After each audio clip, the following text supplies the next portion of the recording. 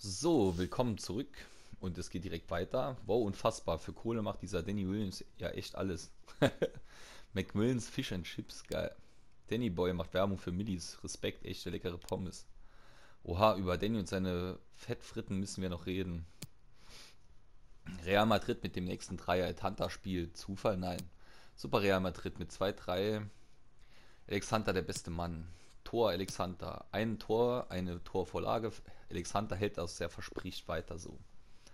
Ja, im Moment muss man echt sagen, läuft es bei uns. Auf jeden Fall mal bei Hand da. Und wir hoffen, dass wir jetzt mit Williams dann natürlich anknüpfen können und dann vielleicht heute echt es noch schaffen, das entscheidende Spiel gegen Schweden zu bestreiten. Das wäre echt geil. Es ist mittlerweile 1 Uhr nachts. Aber ich denke, ich werde das noch durchziehen. Weil sonst kann ich echt nicht schlafen. ich will das schaffen und wenn FIFA mir da einen Strich durch die Rechnung macht, dann lösche ich das Spiel direkt. Das könnt ihr aber glauben. Wenn ich da gewinne und nachher die anderen auch gewinnen und ich deshalb raus bin, dann faul ich weg. Wirklich, dann faul ich echt weg. So, hier gibt es nichts Neues. Dann schauen wir mal, und ich denke, jetzt gibt es den Frittenskandal bei The Williams. Hm. Das Licht stimmt nicht. Ja. Hey, ähm. Hey, kannst du dir das Ding da schnappen? Äh. Das ist ein Reflektor. Stell dich dahin. Und hindrehen. gut, ein Stück weiter. Sehr gut. Ähm, Sieht aus, als wollte er heiraten. Hi. Ein bisschen höher. Gut, gut. Okay, okay, das war's. Danke, Danny.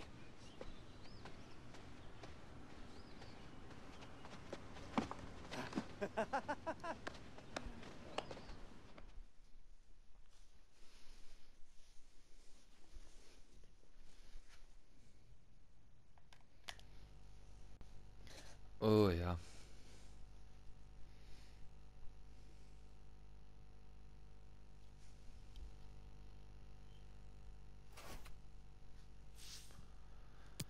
Puh.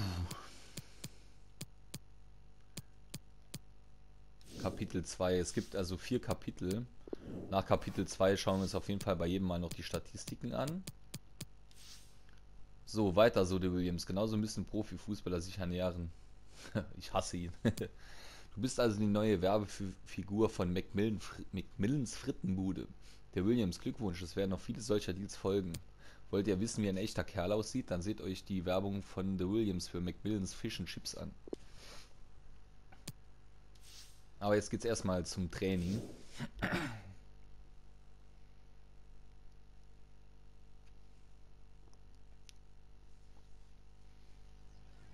Was wir heute machen? Zweikämpfe. Uäh. Ist doch herrlich. Saugeil. Es kann ja was werden. Ah nein, wir sind die Stürmer. Okay, ich dachte, wir wären die Verteidiger.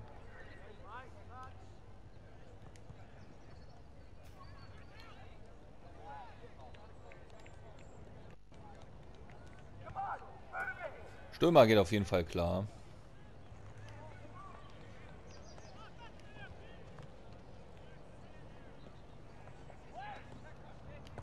Oh, toll.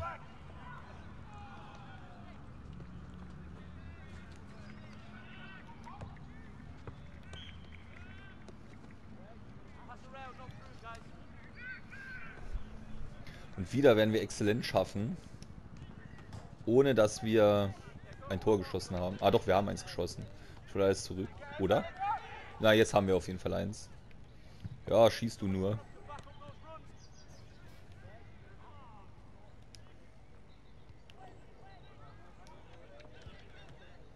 Zwei Tore haben wir geschossen. Das reicht auch.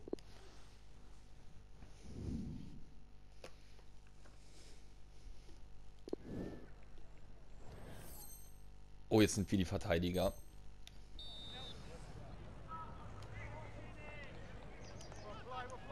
Sehr gut.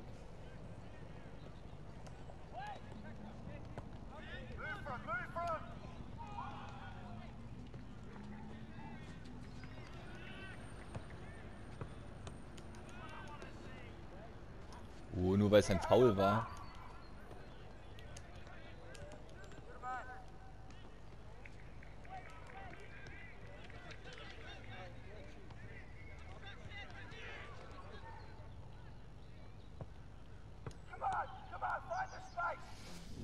Mit einer gut kann ich auch leben. So dringend haben wir es ja nicht.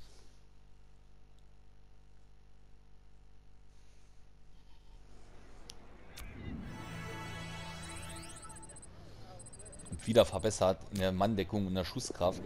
Gutes Training. Für heute war's das. Wir müssen aufpassen, dass wir nicht runterrutschen in die Auswechselbank. Ist der Nachteil an seiner arroganten Art.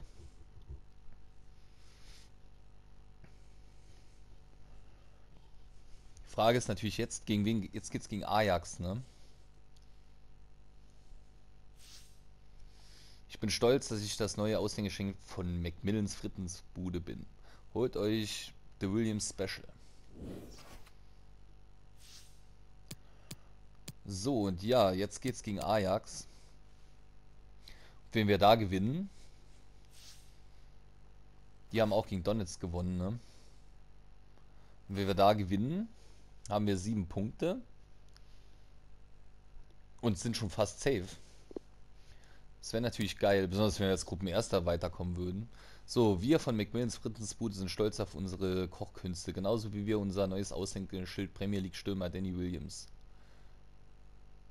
Die nächste Chance für The Williams zu glänzen. Ich glaube, das gelingt ihm auch, obwohl die gerüchtige Küche gerade brodelt. Komm, mach ein paar Tore gegen Ajax. Ich gebe mir Mühe, was haben wir nochmal für Ziele? Naja, absolviere jedes Training. Das ist das Einzige, was wir noch schaffen können. Dann werden wir Publikumsliebling. Wahnsinn. Aber ich denke mal, wenn es gegen West Ham klappt, sind wir schon so gut wie sicher durch. Und dann können wir äh, aufspielen. Natürlich, was natürlich geil wäre, wir haben dann natürlich auch das letzte Spiel gegen Ajax und wenn es dann hier um die Wurst geht, Ajax oder PSG, werden wir definitiv verlieren, egal was passiert. Dann hauen wir nämlich PSG raus. Wenn wir gegen sie im Rückspiel daheim gewinnen, ist das durchaus möglich. Das wäre nämlich der Brüller. Dann ist mir auch egal, ob da Alexander Punkte verliert oder sonst was. Äh, Williams.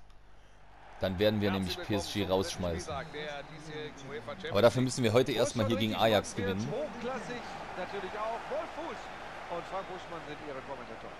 Heute freuen wir uns auf das Spiel West Ham United gegen Ajax Amsterdam. Und hier die Aufstellung Weil anders geht das nicht. Wir müssen auf jeden Fall safe durch sein am letzten Spieltag. Es gibt ja viele Teams, die das mittlerweile so machen und das geht auch, wenn entsprechend aus dem Mittelfeld die Unterstützung kommt. Und da ist sie, die Startaufstellung von Ajax Amsterdam. Kurzer Blick noch auf die taktische Formation, Buschi. Ja, da sehen wir bei Ihnen heute ein 4-3-3, drei Stürmer und klar, dass es über die Flügel gehen wird. Gefahr erstmal bereinigt nach dieser Reingabe. Donny van de Beek. Sanchez. Jetzt können sie vielleicht kontern. Dann kommt Sanchez. Was erwartest du in diesem Spiel von Andrei Jamolenko? Ich glaube, äh, dass er wieder für viel Gefahr So schlecht ausgespielt. Durch seine Pässe, aber auch durch den Abschluss. David Neres. Jetzt liegt es vor allem an den Kreativen, hier mal eine Idee zu entwickeln. Sonst kommen sie gegen die Abwehr nicht durch. Und der Ball ist weg, das war unnötig. Da unten ist keiner, verdammt. Verdammte Axt. Andrea Molenko. Gut aufgepasst, da kommt er an den Ball. Nun Wilshere. Carlos Sanchez. Williams! Ah, schade. Elfmeter. Geil. Jetzt müssen wir nach links schießen. Und dann hält er ihn. Aber den Elber, den musst du erstmal machen. Da ist viel Druck. Oh ja, kann man schon pfeifen. So, The Williams. Jawohl. Wir führen, Williams trifft. Perfekt, Elfmeter, geil. FIFA hat doch noch ein Herz. Danny Williams Klasse Elver, den hat er souverän verwandelt. Und wir den ersten Treffer. Jetzt könnte das Spiel richtig Fahrt aufnehmen. Das war schon mal wichtig, die Führung. Jetzt Schöne. müssen wir sie ausbauen. Aber natürlich auch wichtig, dass Williams gerade das 1-0 Wird's jetzt gemacht hat. gefährlich. Hereingabe. Aber hier kommt kein Mitspieler dran. Dadurch kann der auch wieder ein bisschen glänzen. Da haben sie Platz. Jetzt vielleicht der Konter. Schöne Oh, Zuspiel. schöner Pass. Und jetzt die Chance. Diese wie schlecht ausgespielt. Scheiße. So ein Schwach. Ich hätte fester passen sollen. Das war eine Bombenchance. Wir haben sie weggeschmissen. Ziyech. Hünteler. Sieht nicht ungefährlich aus. Jetzt vielleicht der Konter.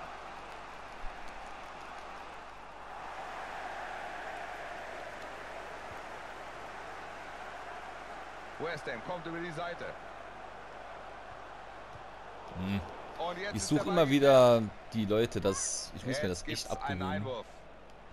Das hat mich bei Kim Hunter schon ein, die Kopf und. Kragen gekostet. Carlos Sanchez. Jetzt könnte die Flanke in den Strafraum bringen. Der ist noch heiß. Und das ist der Ballverlust. Komm, Masuaku, den hast du. Holen da. Jetzt müssen sie aufpassen. Geil.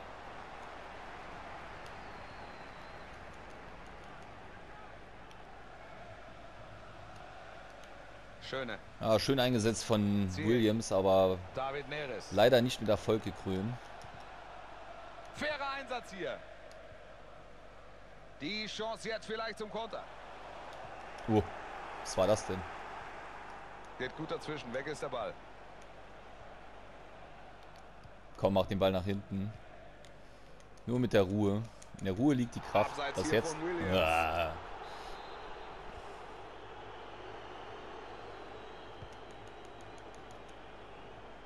Schöne. Wird das eine Torchance? Klasse Technik. Super. Wiltshire. Jetzt ist Platz für den Konter. Foul. Matthijs Delikt. Und da gibt er Freistoß. Kurz gespielt. Gefährlich. Das macht der Torwart gut. Den Ball hat er. Aber man kann es ja auch mal aus der Distanz versuchen. Wieso nicht? Jetzt Williams. Andrea Molenko. Carlos Sanchez. Jetzt vielleicht. Foul. Klasse dazwischen gegangen. Es war ganz klar ein Foul. David Neres. Die pfeifen, manchmal pfeifen sie so kleinlich und bei so Sachen ist dann egal. Gut, für mich ist es auch nur Körpereinsatz, aber wenn man halt eben sieht, was da zwischen dem Spiel mal gepfiffen wird, ist dann das, was ich meine. Keine gute Flanke. Spiel geht mit Einwurf weiter. Gibt Einwurf. Ogbonna. Ist halt eben geil, wenn es so weiterläuft. Dann sind Und wir bis jetzt mit äh, West Ham in der Champions League ungeschlagen. Das muss man sich mal vorstellen. Sanchez. Und noch ein weiterer Einwurf. Ich habe gedacht, wir fliegen hier gnadenlos raus. Andrea Molenko. Williams. Jetzt reicht's aber. Er. Müsste gelb geben. Ja, er ist wirklich blind, so wie er heißt. Für diese Aktion gibt es hier die gelbe Karte. Ja, und das geht wohl auch in Ordnung so. Ah, die werden den Ball scharf reinbringen und wir gucken, was sie draus machen. So, jetzt wollte sich gerade der Fernseher ausschalten, in dem Moment, wo ich hier Den Freistoß schieße. Super. Labiat. Ahnt hier diesen Pass. Weg ist der Ball. Andrea Molenko. Ziyech. Jawohl.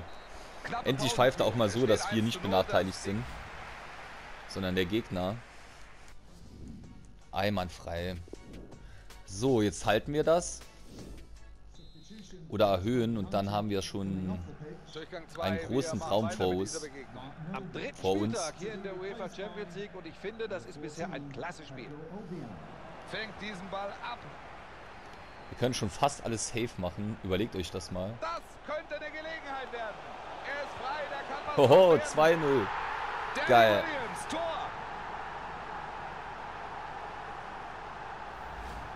Seit seinem Treffer strotzt er nur so vor Selbstvertrauen und jetzt hat er den Doppelpack. Geht doch.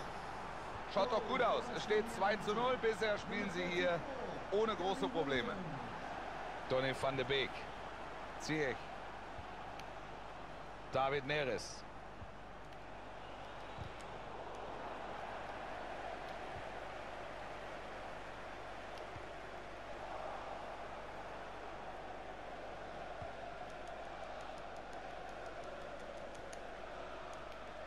Jetzt haben sie den Ball. Können sie jetzt einen Angriff einleiten?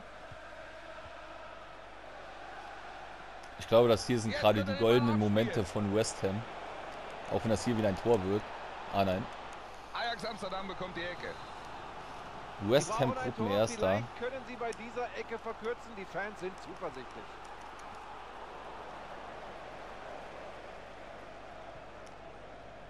Blind. Feldmann. Jetzt gibt's hier eine Ecke. So, das war's. Schauen wir mal, was es so für Anweisungen gibt. Und gönnt ihm den Beifall. Und das völlig zu Recht. Er Super. hat heute wirklich eine klasse Leistung gezeigt. Alles erfüllt, obwohl ich nicht genau weiß, was uns das bringt.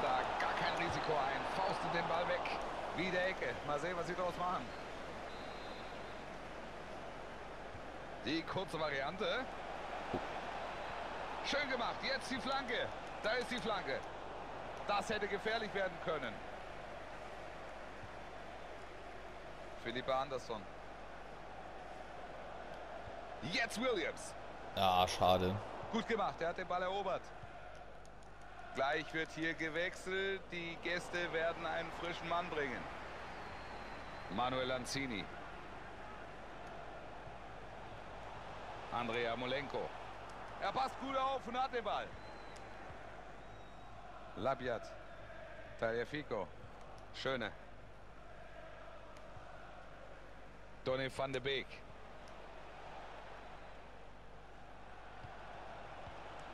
Sie suchen die Lücke. David Neres. Jetzt ist der Ball dort auf Weg. Gut aufgepasst und verteidigt. Jawohl, und jetzt ein Vorwärtsgang. Jetzt vielleicht Danny Williams. Gefährlich. Schöne Vorlage und jetzt noch das Tor. Jawohl. Und er trifft. Super Geile. Sache. Setzt sich durch, geht frei aufs Tor und macht auch hier alles richtig. Da ist er einfach gedanklich Holen wir zu Hause einfach mal Verteidiger. 3-0 Ajax aus dem... Auseinander. Und Williams mit der Ich 10er-Wertung. glaube, ich lehne Wahnsinn. Was ist das heute für ein Tag? Wenn Ist jetzt noch bei der Frauen-WM klappt, dann bin ich der glücklichste Mensch aktuell. Bei FIFA auf jeden. Fall mal.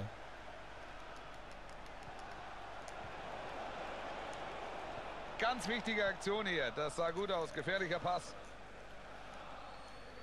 Noch sind hier 20 Minuten zu absolvieren.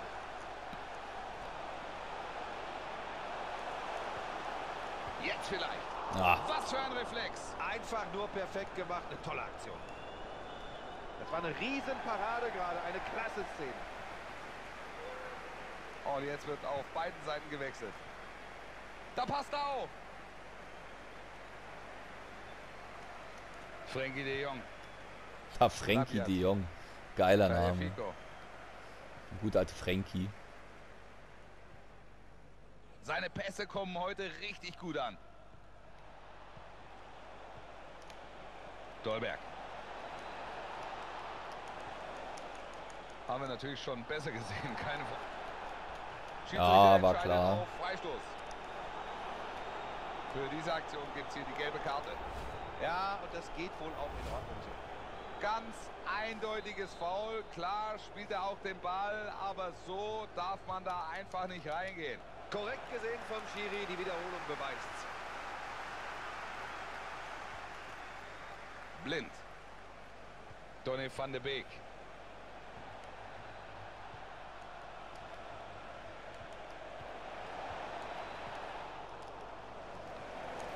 Gut verteidigt hier. Oh, jetzt haben wir unfreiwillig den Ball vorgelegt. Nein, doch nicht. Die Flanke kam nicht so gut rein. Aber egal, ein Gegentor ist jetzt egal, wir haben es geschafft. Wir dominieren aktuell die Champions League. Auf jeden Fall mal die Gruppenphase.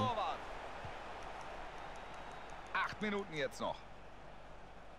Das hätte eine gute Gelegenheit geben können, aber jetzt ist der Ball weg. Ich hätte gedacht, dass das mal so kommt. Also nicht nur, dass West Ham das macht, sondern dass wir das schaffen.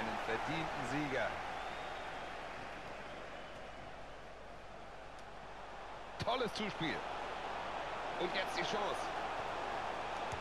Ohohoho. oh, Williams, das hätte der Hattrick sein können. Was macht er denn? Es hätte so schön... Uh, hätte so schön werden können.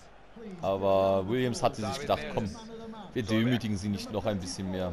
Stellt euch mal vor, das wäre jetzt die, das entscheidende Tor gewesen. Alter, ich, ich wäre im Dreieck gesprungen. Da verlieren sie den Ball. Williams. Ah, Williams bereitet lieber mal noch ein Tor vor. hä? Ja, gut gemacht. Flanke kommt. Sie Uh, wollen hier nicht einfach nur gewinnen, sondern nochmal nachlegen. In dieser jetzt Szene wären wir hier aber arrogant. geklappt. Lassen wir hier Chancen liegen.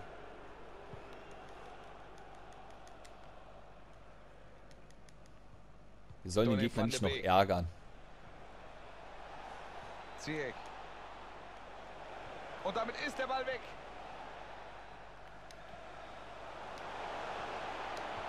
Klasse Zuspiel. Gute Aktion. Weiter gefährlich. Ohoho. Machen die das eigentlich extra? egal. Wir hätten ja auch 4-5-0 gewinnen können. Aber egal. Williams mit zwei Toren. Ja, viele haben ganz bestimmt gedacht, irgendwann schalten die doch mal. Oh, wie geil. Aber nix. Immer weiter ab nach vorne. Klasse. Und der Torvorlage.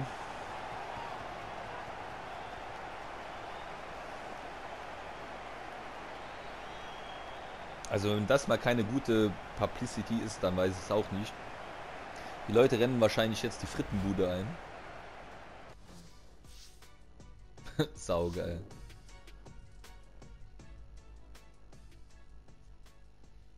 Geht mir das gut ab gerade? Bei mir steht jetzt der Spieler des Tages, Danny Williams.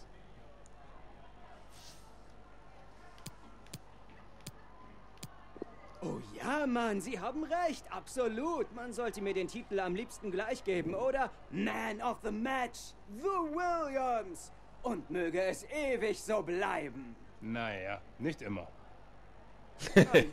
Nein, nein. Offiziell. Aber ich bin immer der Beste. Danke, Danny. Kein Problem, Mann. Ja, wir gönnen ihm mal den Spaß. Wie gesagt, ich werde so Williams arrogant machen. Das ist halt eben so. Es wird sich nicht ändern. Zwei Tore, eine Torvorlage. Und das in der Champions League.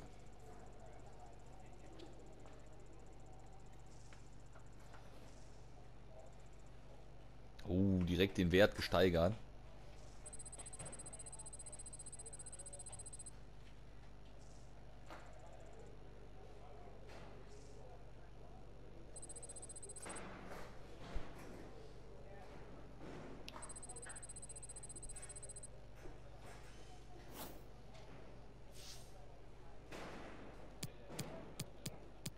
So, dann schauen wir mal. Ja. Habe ich es mir gedacht. Paris 4-0 gegen Donetsk. Ja, jetzt müssen wir gegen Paris, was natürlich geil wäre, wenn Ajax gegen Paris gewinnen würde. Das wäre der Oberring. Wir schmeißen Paris raus. Es wäre so geil, wenn wir das schaffen könnten. Wäre der Oberhammer.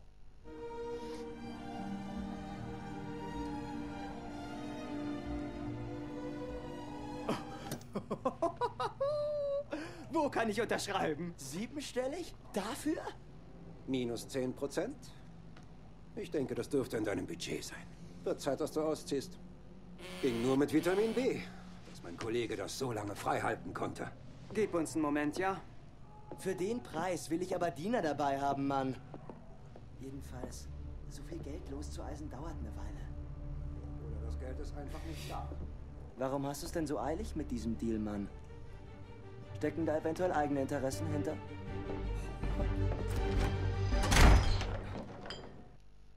Oh, Williams ist richtig stinkig. Aber das wäre geil, wenn wir noch gegen Paris gewinnen würden und würden die rausschmeißen. Das wäre das höchste der Gefühle.